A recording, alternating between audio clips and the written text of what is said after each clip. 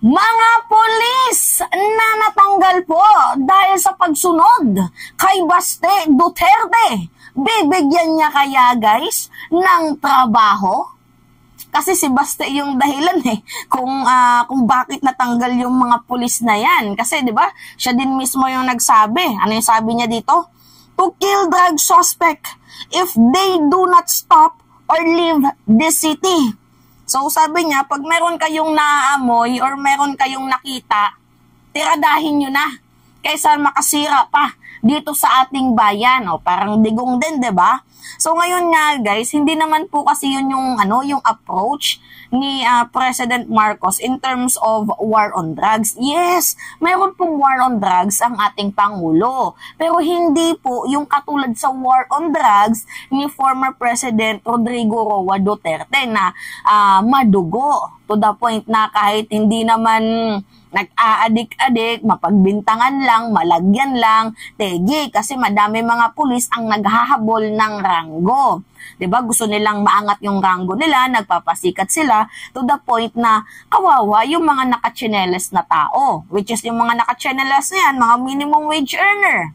ba? Mga uh, tricycle driver, mga naglalaba, vendor, 'di ba, construction worker, 'yan po yung mga taong nakachinelas. To the point na nung panahon ni former uh, former President Duterte, madaming pulis ang umangat ang kanilang ranggo. It is that because uh, 'di ba? Meron naman totoo naman kasi guys na meron pong mga uh, kababayan natin na kahit hindi naman po gumagamit na pagbintangan, syempre ginagamit ng mga kapulisan kasi sabi nga ah, sabi nga sa balita noon na meron pong reward if yung mga pulis na yan ay makapagdala ng kahit isang ulong matigok na gumagamit.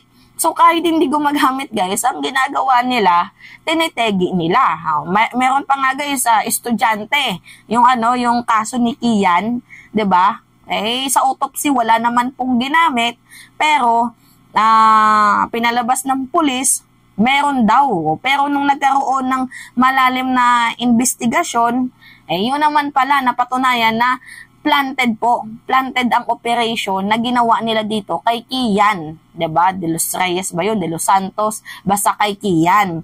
Kalimutan ko na yung pangalan ng batang yon uh, honor student pa naman. Tapos, uh, tumambay lang sa kalye. Pagbalik, eh, inano ng mga pulis. Grabe kayo. Uy, Anyway, ito pala yung uh, video ni Baste kung saan nag ano siya, nagbanta siya na uh, pinag-utos niya na lahat daw ng makikita nyong addict, ganunin nyo, patayin daw. O, panoodin nyo ha, panoodin nyo muna to. Kung ako dire, di mo mo hawa, di mo mo undang, kat yun tamo. Babala ni Davao City Mayor Grabe, Sebastian no? Baste Duterte sa mga durugista sa kanyang lungsod. Sinabi ito ng alkalde sa turnover ceremony ng bagong hepe ng Davao City Police Office noong biyernes. Kasunod yan ng anyay pagtaas ng bilang ng mga gumagamit ng iligal na droga sa lungsod. Papatayin din daw ni Mayor Baste ang mga nagbebenta ng droga ah, kung hindi aalis sa Davao City. Dili ka for nga madaot ang family, ang mga community tungod lang na for your self selfish venture. Gusto lang ka mo dato, kay mamaligya kag droga, nya, imong daoton ang lain tao tungod sa imong because of your greediness, pap yun pa. Pagkatapos niyang sabihin ng alkalde noong biyernes pitong drug personalities ang namatay sa magkakahiwalay na bypass Grabe, operations. No? Labimpito naman ang naaresto. Pero higit ng Davao City Police, normal na operasyon at walang kinalaman ang banta ni Mayor Baste sa sunod-sunod na patayan. Ayan, wala daw kinalaman ang banta ni Mayor Baste. Eh, siya yung nag-utos eh. 'Di ba? Parang nyo namang ginagawa kaming tanga. Siya nag-utos na lahat ng mga nakikita nyong adik patayin. Gusto atang sumunod sa kanyang ama, gusto atang talunin ng record. Anyway, guys, yun na nga po. Um, merong ang um, walong pulis ang natanggalan ng trabaho. So under surveillance ata if I'm not mistaken uh, ano sila, iimbestigahan pa kung totoo nga ba yung operation na, na ginawa nila, kung totoo nga ba yung mga uh, napatay doon is mga gumagamit ba or totoong nanlaban. Kasi guys, wala silang body cam. How do we know na nanlaban? 'Di ba hindi pwede yung puro lang salita. Alam nyo ha, ayokong ano, ayokong i-judge yung mga kapulisan natin. At the same time, uh, hindi ko rin naman kinakampihan itong mga gumagamit kasi masama naman po yun, guys. The point here is yung pagkuha sa buhay ng isang tao illegal. Kasi Diyos ang may kapal ang gumawa sa kanila, Diyos din ang babawi ng kanilang buhay. So, dapat naniniwala pa din naman ho tayo dito sa rule of law and due process. Human rights, ba? Diba? Kasi guys, nakakagigil, may mga pamilya din naman yung mga yan.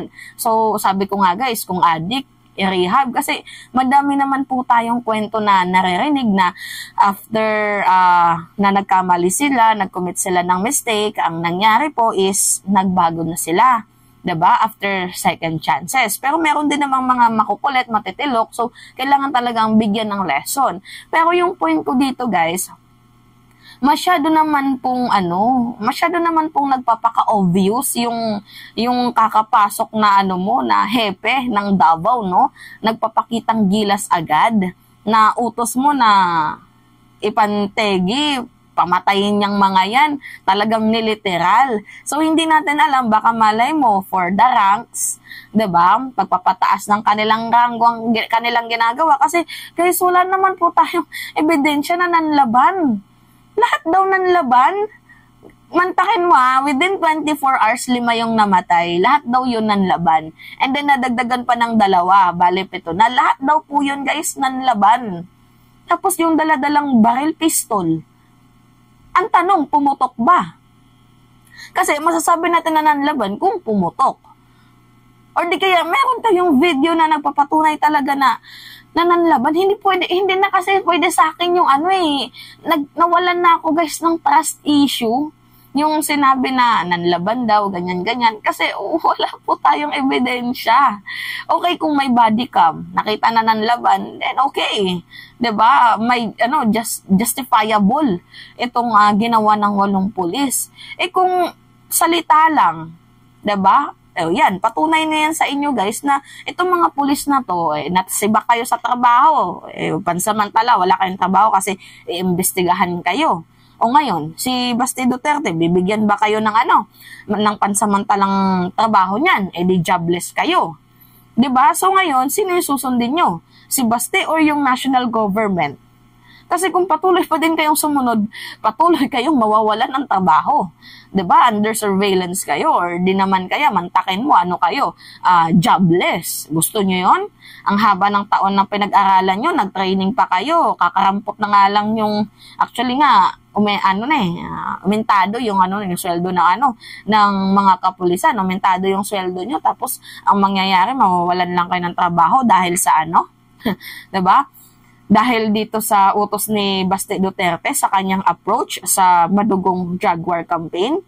'Di ba? Hindi pa matapos yung ano yung issue ng kanyang ama about dito sa uh, human rights, 'di ba?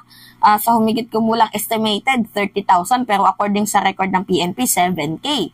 'Di ba? Hindi pa nga tapos ang kakahiyaw ng hustisya ng mga pamilyang biktima ni Digong. Susunod na agad si Baste. My goodness. 'Di ba? Tapos ano kayo? Uh, defender kayo ni, ni Tevis at Kibuloy. Ang double standard niyo naman. defender kayo ni Tevis. De- defender kayo ni Kibuloy pero galit na galit kayo sa mga nanlalaban. Diyos ko po. Iba talaga yung nagagawa na, na may pera, no? Iba yung nagagawa na may pera. ba diba?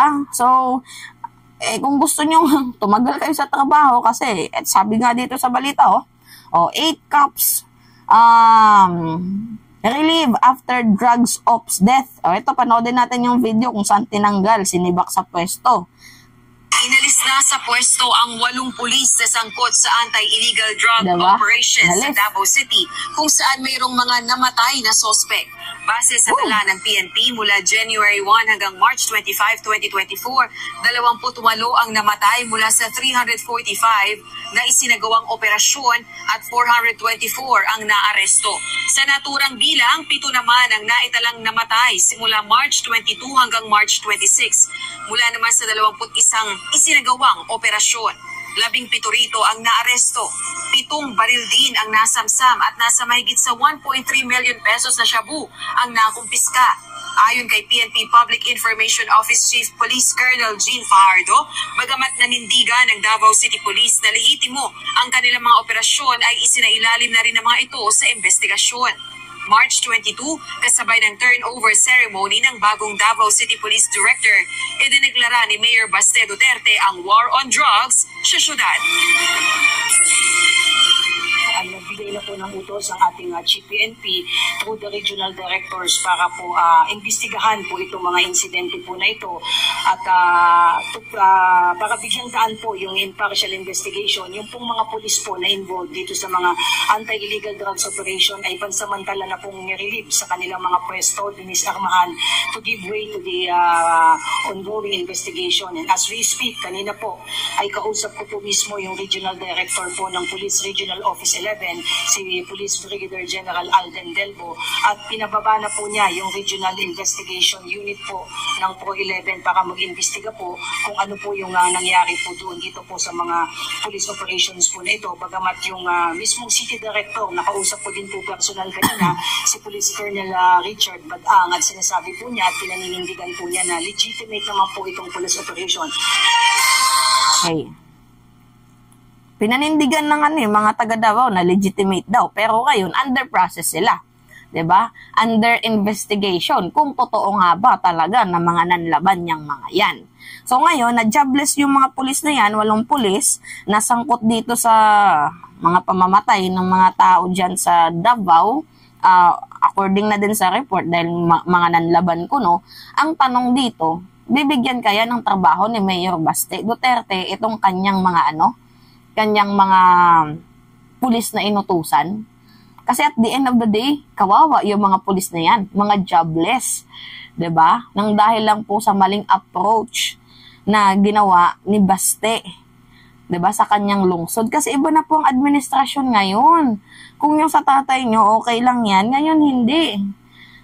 'Di ba? Sa ano administrasyon ni President Marcos, ang gusto niya lessen po yung bloody, yung madugong drug war campaign kasi naniniwala po ang ating Pangulo sa rule of law and due process eh.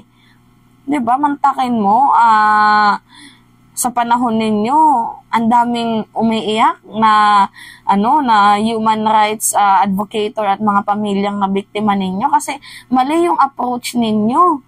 Tingnan nyo guys yung record doon sa PDEA kung saan uh, lesson po yung ano, yung atake sa drug war campaign ni President Marcos pero madami po ang nahuli. Not unlike not unlike dito sa uh, madugong drug war campaign ni former President Duterte, compare niyo yung first quarter ni Digong at yung first quarter ni President Marcos, nakita ko guys sa data na mas malaki po yung lamang ni President Marcos pero lesson po yung atake niya dito sa drug war campaign. See? 'Di ba? So ngayon na jobless kayo, kawawa naman kayo. Oh, 'Di ba?